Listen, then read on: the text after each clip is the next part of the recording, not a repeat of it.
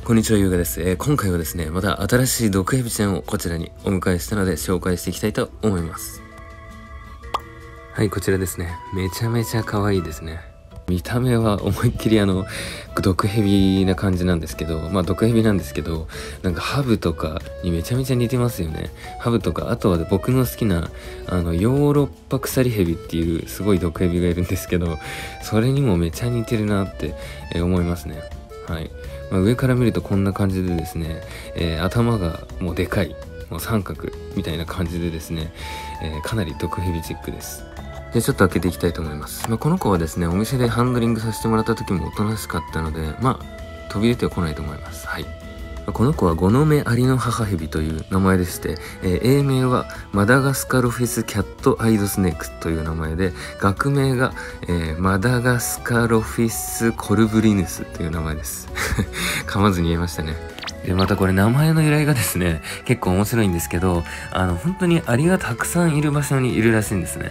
はい。っていうのもですね、あの、メクラヘビっていう、あの、アリを食べるヘビがいるんですけど、そのメクラヘビっていうヘビをですね、このアリの母ヘビは食べてくれるらしいんですね。なんで、まあそこにアリが集まってるんじゃないかっていう風にも言われてたりします。まあ、っていうことで、アリの母、まあ、アリのお母さんっていうことで、アリの母ヘビっていう名前になったらしいんですよ。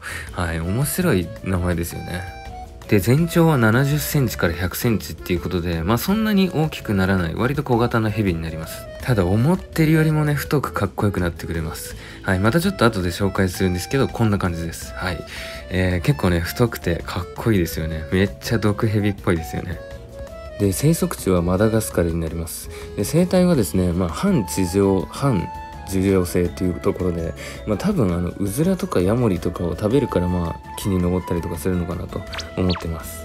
で野生で食べてるものはカエルトカゲゲッシュ類、まあ、小型哺乳類ですね。とかあとうずらとかも食べるみたいですね。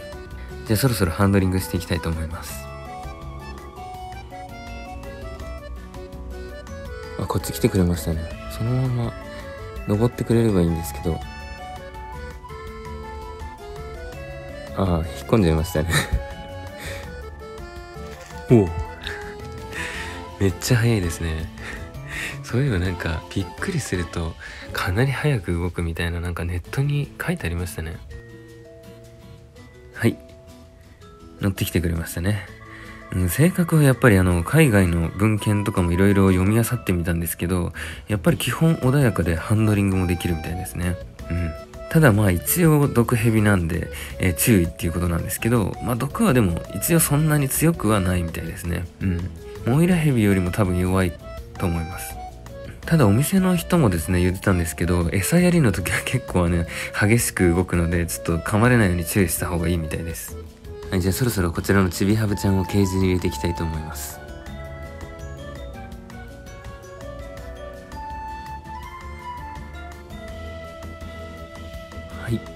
えー、スムーズに入ってくれましたね、まあ、あんまりその温度差とかもそんなに敏感に反応しないみたいですね。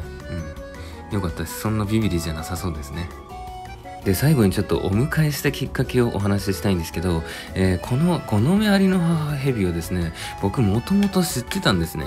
なんですけど、そんなに別に 特別魅力を感じていたわけではなくて、どっちかっていうと似てるちょっと北アフリカシノビヘビっていうヘビがずっと欲しかったんですけど、それがですね、たまたまですね、ツイッターである時画像が流れてきまして、で、それを見てみたらですね、それはこちらなんですけど、で、この写真を見た時にですね、え、この顔でこの柄ってヨーロッパ鎖蛇って思ったんですよ。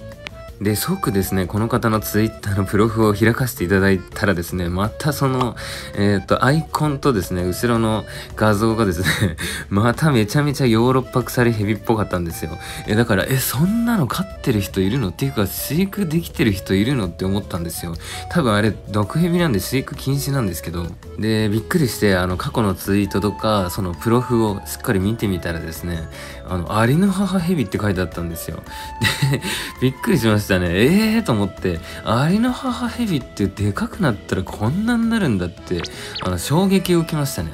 そう、もともと知ってたんですけど、アリの母ヘビって結構、なんでちょっと成長した中くらいぐらい、ヤングぐらいのやつばっかりしか僕見たことなかったんで、あの、大人のやつ見たことなかったんですよね。